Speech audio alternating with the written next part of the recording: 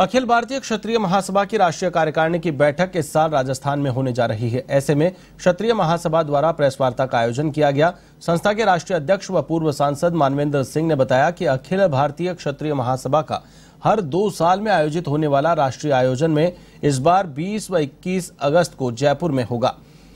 जिसमें राजस्थान के राज्यपाल कलराज मिश्र अध्यक्षता करेंगे। साथ ही कार्यक्रम में मुख्य अतिथि जम्मू कश्मीर के his highness doctor Karan Singh और केंद्रीय जल शक्ति मंत्री गजेंद्र सिंह शेखावत होंगे। इस दौरान राष्ट्रीय उपाध्यक्ष यादवेंद्र सिंह, राष्ट्रीय उपाध्यक्ष वीपी सिंह, राष्ट्रीय महासचिव वीरेंद्र सिंह सोलंकी ने भी प्रेस वार्ता को संबोधित किया।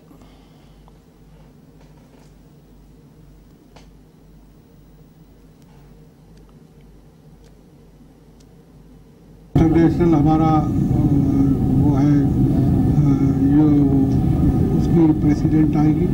नेशनल हमारी वुमेन प्रेसिडेंट है। यूथ हमारे नेशनल प्रेसिडेंट हैं। और उनके पदाधिकारी यहाँ पर उपस्थित हों।